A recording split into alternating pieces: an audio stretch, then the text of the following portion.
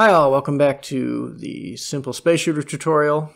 This week we're going to be focusing on creating our boss. So we'll start by creating a script. I'm calling it Big Boss, but you can call it whatever. Um, let's think about real quick what we want this boss to do. We're going to have it come in from the right side of the screen and travel to the left side of the screen and then go back and forth from the left to the right so the player has to dodge it. Uh, it's also going to be shooting a gun the entire time. And that'll be good for us, and that'll be it. So we want to make this big boss script derived from our spaceship class that you know and love at this point.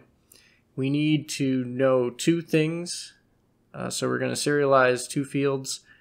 Um, they're both going to be vector 3s, and those are the position that the boss is going to travel to on the left, and then the position the boss is going to travel back over to on the right. Then we need a boolean that's not going to be serialized, and that's just going to keep track of whether we're going left or right at the current moment. We'll have more fields here as uh, once we implement shooting, but for now let's just think about moving. So we're going to override our move function as always, uh, protect override uh, vector 3 move and we're going to uh, start by checking if we're going left. If we are going left, we want to do a quick check to see uh, if we're within a certain distance, a little threshold distance of our final left position. If we are within that distance, we want to stop going left. We want to say going left is equal to false. To move left, we're going to modify our movement vector, the x on the movement vector. We're going to set that to our movement speed, so get movement speed. We're going to multiply it by the time dot delta time to smooth it out. And since we're going left, we're also going to multiply it by negative 1. For going right, which is what we do if m underscore going left is false, uh, it's really the same thing uh, is going left, except we're not going to multiply by negative 1. And when we check our threshold, our distance against the threshold, we're going to be checking against the uh, m underscore final position right, vector 3. And uh, if we are within that threshold, we're going to be setting m going left back to true. So that really takes care of all the movement that this uh, boss character is going to be doing. Uh, the next thing we want to start thinking about is uh, shooting. So just like with our player, uh, if you can recall, uh, we need to implement the I shooterable interface. And what we're going to do here is take really all the same code that we used for the player and uh, paste it back into here. Um, the only significant change we're making to the shooting code here is in the actual uh, void public void shoot function, we're going to find uh, where it takes the input. Because if you can recall, as the player uh, in that function, we check for the fire button being pressed, and we also check for uh, the rate of fire to make sure you're not just spamming bullets. In this case, we are only going to check for the rate of fire. So the boss is going to be shooting as long as uh, well, as long as he's on screen. Uh, so that's the the changes we need to make to the shoot function itself. Uh, also, when we get the bullet, we want to orient it towards the player so that it, it flies out towards the player no matter where they are on the screen. So in order to do that, we need to make a couple changes here. We need to add in a, a private uh, private field for the player. So our boss needs to know where the player is. And you can see me here adding a helper function called getPlayer. And what that's going to do is uh, search for the player game object if we haven't, and we're going to call that if we haven't already found the player game object. So back when we get the bullet and we're setting its transform, uh, what we want to do is not set its rotation the way we were doing that before. we're going to get the player game object if we haven't already. And what we're going to do is call the bullet transform dot look at. There's a look at function, and we're going to feed it that player, our m underscore player transform. And what that will do is orient the bullet towards the player no matter where they are on the screen. And if you can recall our, our actual bullet code, it just travels forward. So if we're looking towards the player, that means that the bullet's going to start traveling towards the player. And really, that's everything we need our boss to do. Uh, so let's come back out and set up the game object. So you see I'm dragging our model in. This is the same way we set up the baddie game object and the player. We're going to create an empty game object to serve as the parent transform. And we're going to appropriately uh, rotate the actual model so that it's facing the correct dire uh, direction. I'm also going to mess around with the scale a little bit here. Uh, we want the boss to be fairly large on the screen. I settle at about a thousand on my scale, but uh, play around with that until you get something you're happy with. Once we're we have the uh, the parent, we're going to add our boss component to it, our big boss component. We want to make sure the health is something fairly large. Remember the bullets do about 100 damage apiece. Um, I'm going to have this guy be required to be shot a fair amount of times before uh, he blows up. So I'm going to set it to something like uh, 2,000. Seems pretty good.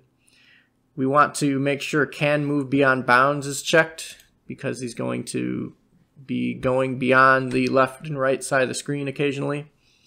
We want to set the spaceship type to enemy. And we'll set our final positions left and right. So for the right, uh, 54 looks pretty good to where it's going to go on the right. And then negative 45. We can drag in the bullet prefab.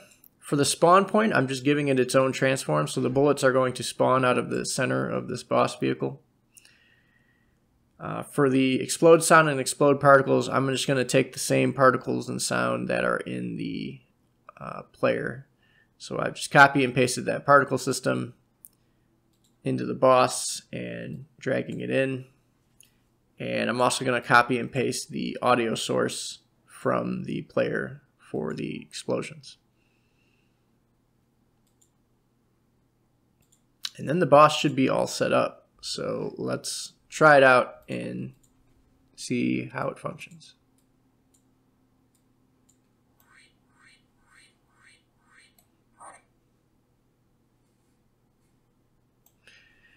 So one thing I missed here is uh, we're going to need to add a rigid body and box collider, same as we did with the player and the baddies before. So we'll go ahead and do that.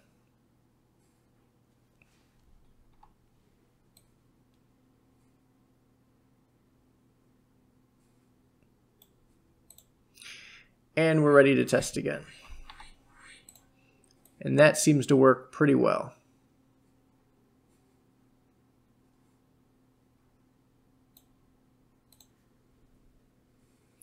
I'm going to tweak the time between shots to make it a little longer because it feels a little overwhelming as it is now. Um, and then I'm, I'm pretty happy with where that ends up.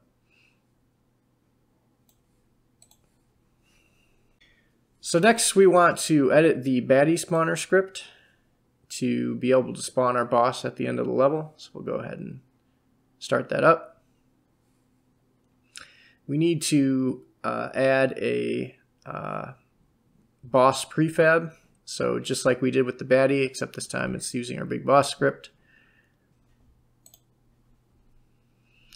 And then we need to add, I'm going to add a, uh, a new enumeration, and this is going to help us distinguish between uh, the regular bad guy types and the boss types that we're spawning in. So up at the top, I'm going to say public enum enemy type, and I'm going to have either normal or regular or boss.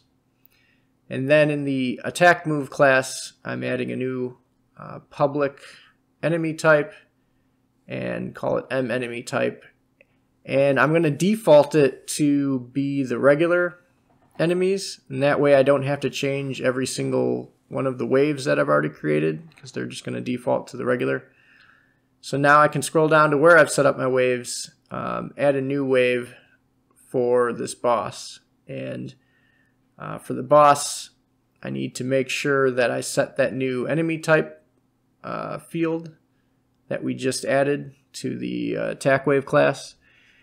And I don't need wave size anymore. I want to make sure number of baddies is only one. Uh, the rate of spawn really doesn't matter. Uh, and I'm just going to tweak some of these starting values. Like starting Y I think can probably be 0. And uh, X at 70 is probably fine. Down in the spawn wave function, we now need to distinguish between whether we're spawning a regular enemy or a boss. So we'll go ahead and do that real quick.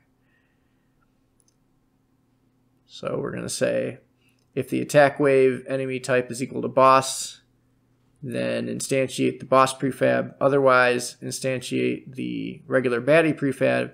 And as you can, if you recall on the baddie script, we added a special spawn function for setting up some of the uh, sine wave parameters uh, that we feed in from our attack wave. We don't need to do that for the boss. Uh, so, so we'll just have that in the uh, regular baddie spawning uh, code there.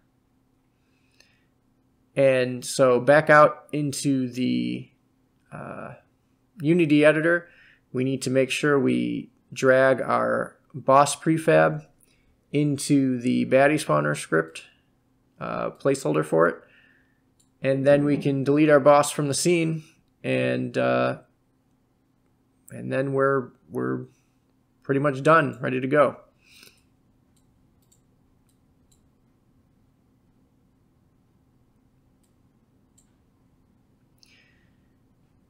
So that's everything we need to do this time around. Um, so the game is almost done. We're going to have just some finishing touches next week. We'll add a menu and a game over state.